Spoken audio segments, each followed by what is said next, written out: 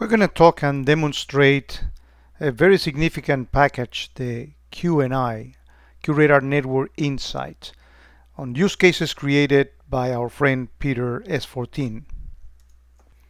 So QRadar, since the beginning, has provided the benefit of mixing logs or events with flows. And those flows have allowed us to detect conditions on source or destination IP, source or destination port, and number of bytes uh, incoming or outgoing.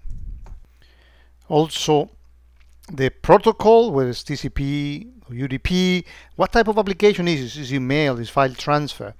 Uh, whether the traffic is incoming or outgoing by virtue of the network topology. All that is always been very, very useful. Then QFlows have also been like the next step, which allows us to look into the first 64 bytes of every packet and you know pick and look for things like social security numbers or anything that uh, we want to look for a match on the actual payload.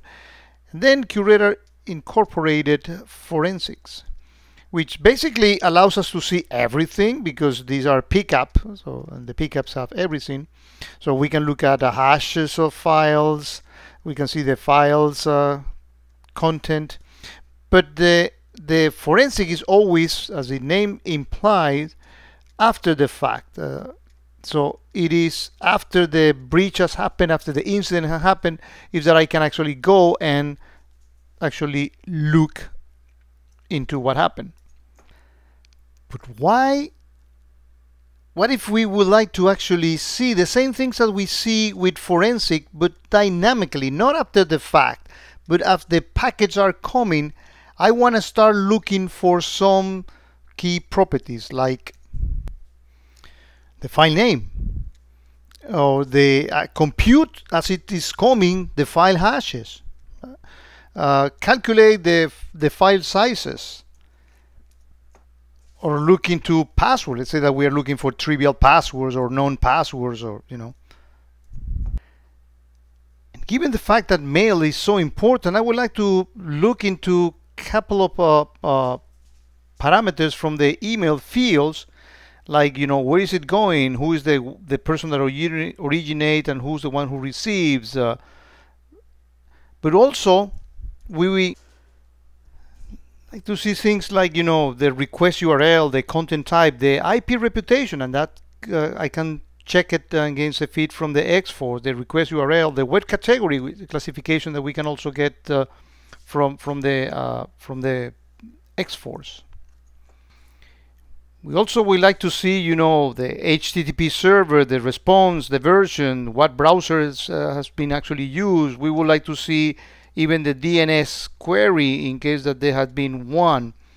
All these in, in, in, in the package, there are right now 25 of these properties that I can again dynamically begin to look at them. And then I can work with rules that come from the package and I can modify them and create my very own to detect things like spam. Whether it's coming uh, incoming or outgoing. Whether we can detect actually malware, since we are calculating the hash dynamically, we can actually look and compare that hash with feeds that we get from the X-Force or any other uh, threat feeds. We can detect phishing. We can detect it the same file name, you know, uh, with uh, it's been seen in the network in the last 15 minutes, more than 15 times. Uh, we, we all those combinations, and again, some of those rules come in the package already, and, and you can uh, create your very own, but now allows you to, on the fly, detect these conditions that before you could only go back post-mortem and, and, and look at them. Now, in QRadar, you can see, uh, see them as they happen. Let's take a look at a video, uh, at, the, at a demo uh, to see this in action. So here we can see flows coming, the network activity, but if we actually take a look at any one of these events, let me just take uh, one, we see that now we have all those custom properties in here. Well, this particular event doesn't doesn't uh, have any, but uh, uh, we actually see that so many of them do have some of those uh, fields. We actually pick one that has uh, matches in there. So we see here, for example, the hash that uh, was computed as the file was actually coming. Uh, we see the file size. Uh, the user, the user agent, the guy was using Firefox.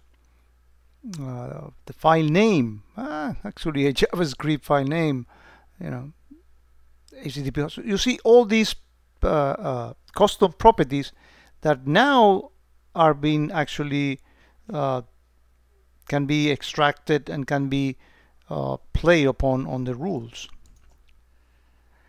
Actually, we have some searches that caught my attention that we got uh, Superflow C here. Uh, we got some searches that are uh, uh kind of interesting in here. So for example, uh, let's see email attachment by sender by type. We got, you know, the content type, the originating, the file hash, the hello message, the, you know, the recipient user, So this search is actually looking at the subject content, you know, we, we, we, we see it here with the originating and the receive. So you can make not only great searches and reports and and uh, but also you can get uh, offenses to fire. Let's take some of the look at some of the rules that come with the QNI package. Here in the offenses tab, if I look for QNI, I see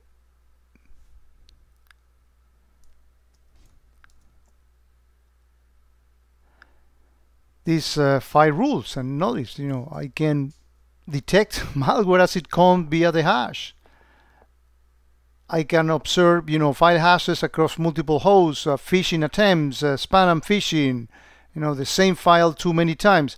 Those conditions come naturally. And again you can take these and modify them and, and, and create uh, any other one that you might be looking for. And again that capability of looking and calculating hashes as they are coming is kind of uh, interesting. Let me put this search that actually shows that. Uh, look at that; those hashes are dynamically being uh, calculated, and uh, the file size is actually dynamically calculated. So let's see some of the rules that fire uh, with this event. But as you see, it's, it's, very easy now for me as, as, the, as the packets are actually coming to check for file hashes of some specific malware or threats that I'm uh, that I want to be watchful for.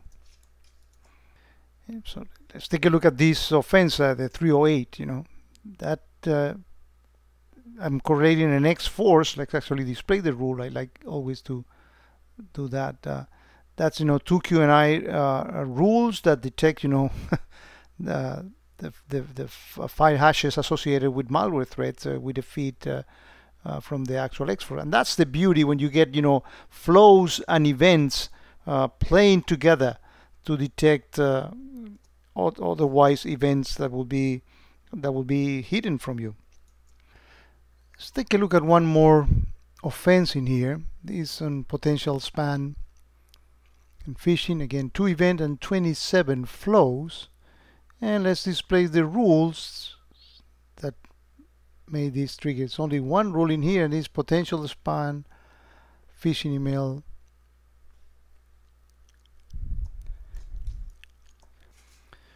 let's see why this rule thinks that this is a spam well it's a local to remote remote to local this is involving uh, elements that are defined as mail servers in any one of these uh, building blocks.